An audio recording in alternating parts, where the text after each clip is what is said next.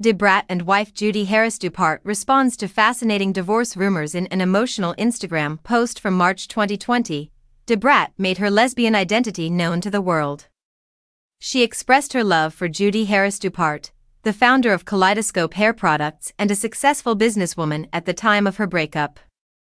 For Da Brat, who had maintained her sexuality a secret for the majority of her career in spite of rumors and conjecture, it was a historic moment. Harris Dupart and the So So Def rapper married in February 2022 and welcomed their first child together in July the following year.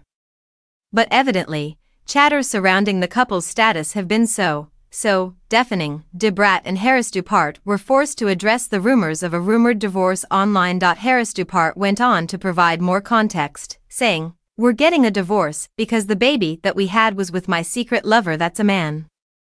So it's me and his baby.